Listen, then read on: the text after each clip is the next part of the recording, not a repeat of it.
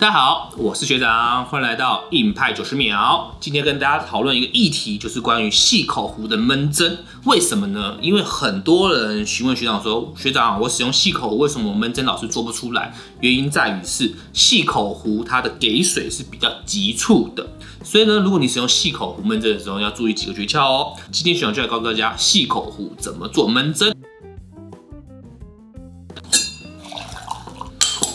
好，那我们今天使用细口壶呢，是 Smarty 的玄铁黑哈。其实玄铁黑的口径呢，已经不算特别小了。如果是更小口径的细口壶的话，这个问题会更严重。也就是说呢，在闷蒸的时候呢，一般学长都会跟大家讲，中间你闷蒸的时间要停留三秒钟，再往外绕。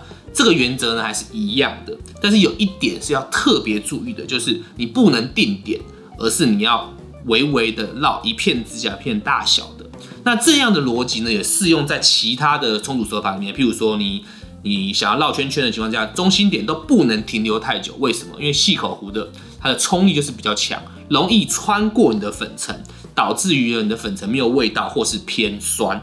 所以这非常重要，千万不要在定点连续给水，很容易穿过你的粉。所以我们接下来示范一下哈，如果我们要给四十 CC 的水，中间点我们该怎么给呢？好，一样是中心点三秒，但是呢，刚开始给水以后，马上要绕圈，绕圈的范围不用太大，但是还是要绕圈，然后三秒钟之后再往外绕回中间，就完成了哈。所以实际上可以看到，我们因为虽然是细口壶的水很小，但是因为我们在中间绕的过程之中呢，虽然一样是停留三秒，但是它的范围呢，就不光只是在正中间停着不动。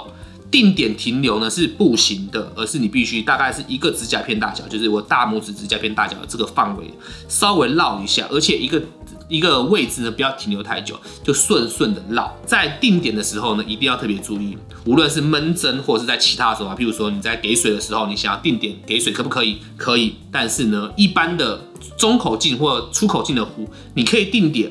但是细口径的壶呢，就不能完全定点，要在一个小范围之内绕圈圈，这就是细口壶的闷蒸或者其他给定点给水的诀窍喽。好，只要你掌握到这一点的话呢，你用细口壶闷蒸也是可以很成功的。就像这样子，就像的闷蒸已经过一分钟了，但是它的状况还是非常的好了哈，就不会有凹陷的问题。那这就是今天硬派九十秒。